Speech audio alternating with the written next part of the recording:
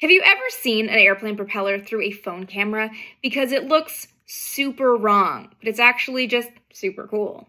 There's two things at play here. The first is shutter speed. Shutter speed is just how long the camera spends taking in light on each frame of the video. Because even though we see a video as a continuous motion, it's actually, as we know, a series of still images.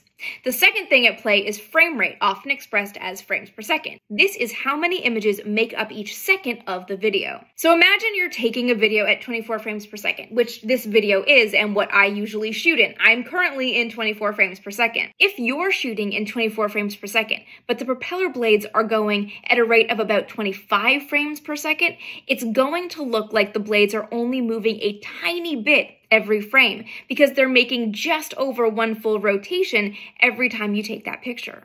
The result is that it looks like the propellers are barely moving. And it can get even weirder. Depending on the relationship between your frame rate and the propeller blades spinning, it can look like the propellers are moving backwards, or if they're completely synced up or a multiple of, it can look like they're not moving at all. The same thing happens with helicopter blades in videos all the time. You've probably seen this effect floating around the internet before, and you've probably heard someone talk about it, but you know what? I still think it's super cool.